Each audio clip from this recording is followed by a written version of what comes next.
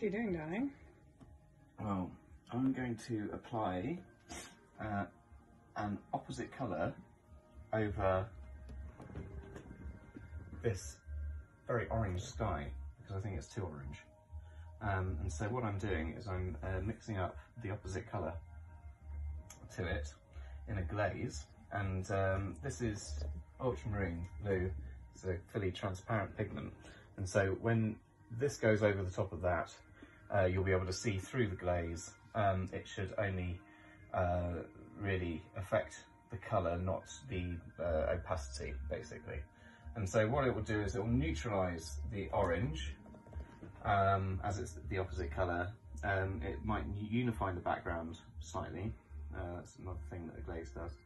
Um, and add saturation to maybe the darker part as well.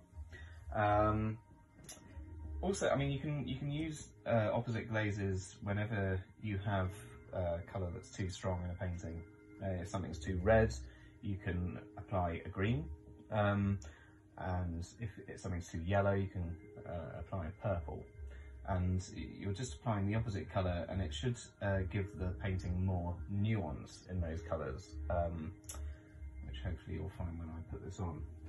Uh, it may seem kind of crazy to put on an opposite colour to, to a, a colour that you're putting on the, that you've already got on the canvas um, because you think, oh, that's pretty drastic. But it, it's amazing how subtle the effect can be if it's if it's mixed down with enough glaze medium. What's it's, the medium? It's uh, this one. It's a crema um, oil painting medium that's fast drying. Um, and I think that's got like Damar resin in it, uh, turpentine, uh, a bit of uh, linseed oil, stand, stand oil I think, and it's, it's quite viscous, um, but it seems to do the trick. Anyway, I'll put on a bit of it so you can see what it does. hopefully that's, that's down enough. So go over on this side. And the moment when it goes on, you're like, oh wow, that's, that's a bit too blue but it's only because you're used to seeing an orange there.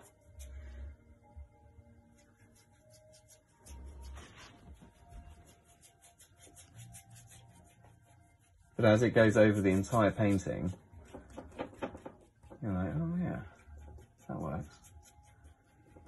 And you see that orange is now blending in with the, the blue that's already there quite nicely. Whereas before I think it was sticking out too much.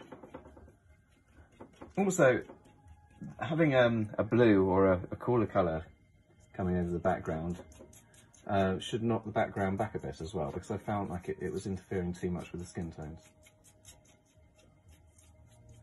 Now, once it goes on like this, then of course you can start using your, your hands or cotton wool buds to, um, to sort of sculpt the paint, if you like. So and also to remove the brush strokes. And so go over it like this with the palm of your hand. And it completely flattens out all the brush strokes. That were there. And then after that you can go in a little bit more just to bring out some of the, the lighter bits with the if you want to take it off a little bit more but yeah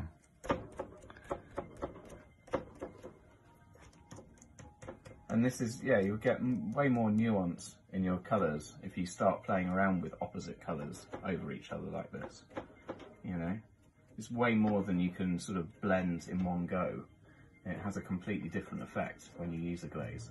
So like sort of diffracting off all the all the pigments before it hits the uh, the dead colouring that you put behind it, and so it's it, it works in a completely different way than if you were to mix the colour straight. So yeah, as you can see, it's like knocking all of the orange out of that bit in comparison to this. Anyway, there you go.